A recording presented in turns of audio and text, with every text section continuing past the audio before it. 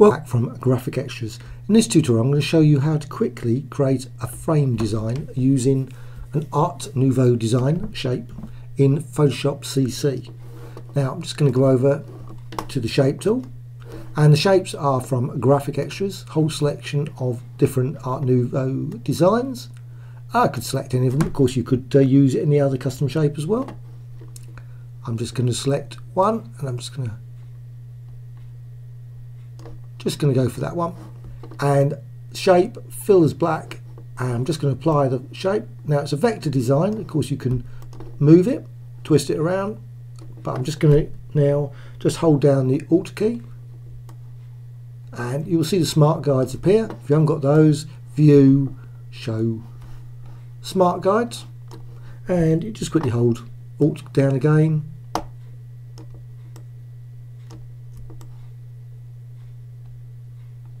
drag that across. Doesn't have to be uniform, of course.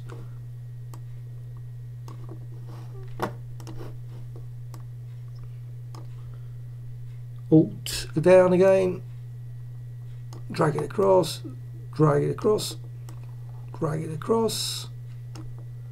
Now drag it down, drag it down. Of course, you could uh, obviously make it all the way down there. So I'm just going to do it across and I want it all the way down. And just continue. Again you've got the smart guides helping you to position the designs.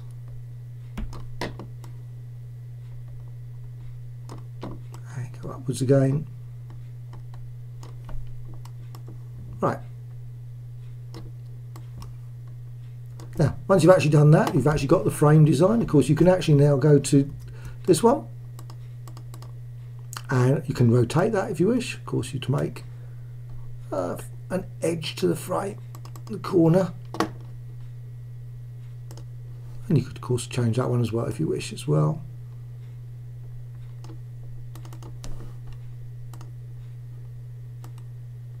Rotate those around.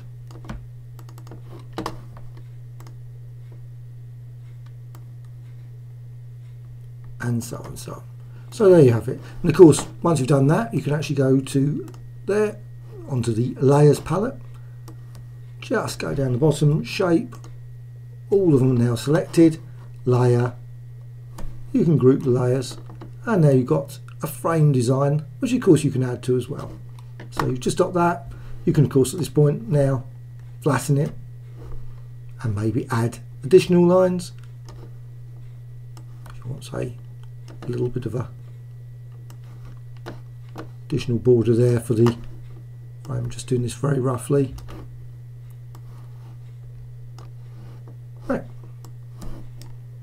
Anyway there is a quick frame. Uh, I hope you found this uh, tutorial of use and interest and that you'll subscribe to Graphicxtras channel. Always adding new tutorials. Thank you much